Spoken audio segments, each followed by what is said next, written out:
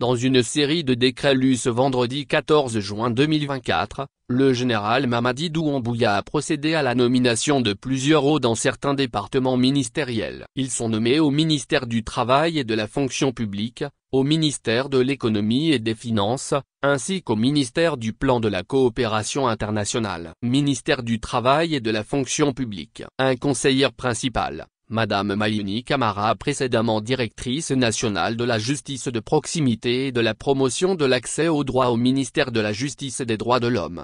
Deux conseillers juridiques, M.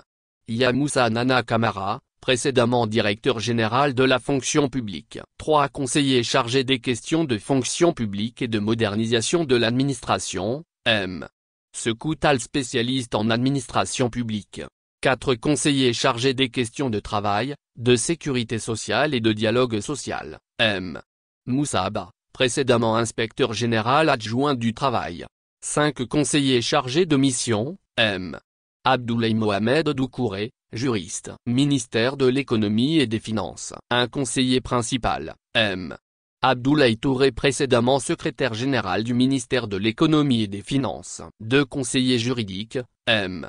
Abou Dimessi précédemment directeur juridique à l'administration et au contrôle des grands projets. Trois conseillers chargés des questions de finances publiques, M. Lamine Camara économiste. Quatre conseillères chargées des investissements publics, Madame Omilie Bernadette Lenot précédemment conseillère principale du ministère de l'économie et des finances. 5 conseillères chargées de mission, Madame Kadiatou Sampil comptable, ministère du Plan et de la Coopération internationale. Un conseiller principal, M. Bernard Guilavogui. Deux conseillères juridiques, Madame Bintabari, précédemment conseillère à l'administration et au contrôle des grands projets. Trois conseillers chargés de la planification et du cadre macroéconomique, M.